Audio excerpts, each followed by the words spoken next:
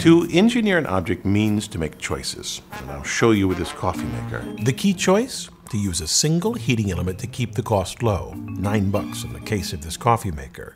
Now, the heater must be below the carafe to keep the coffee warm, yet it also needs to heat the water for brewing, and since the grounds are at the top, that presents a problem.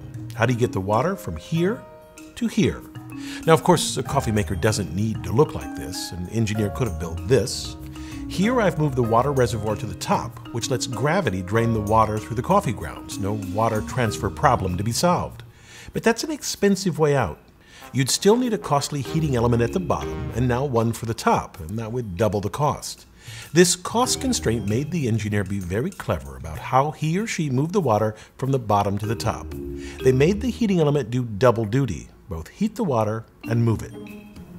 Hidden in the tubing is a one-way valve. It's tiny.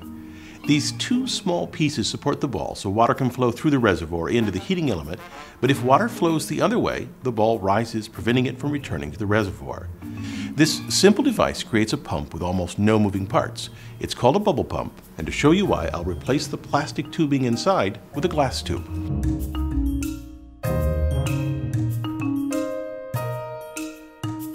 Now, what I've done is bypass the plastic tube inside so we could see the bubble pump action and I have rerouted the water with this uh, black hose back into the carafe. And so let me go ahead and turn it on and let's see what happens. Oh. Now it's on. I'm always amazed at how fast this happens. You can see the water rising already. The water rises because the tubing and heating element create a bubble pump.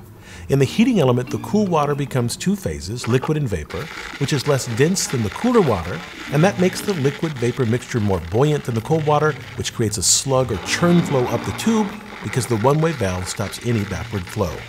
The beauty of it? No moving parts, just a one way valve, some tubing, and a heating element. Very inexpensive, but effective. I'm Bill Hammack, the engineer guy. Did you take the coffee maker again? I'm repairing it.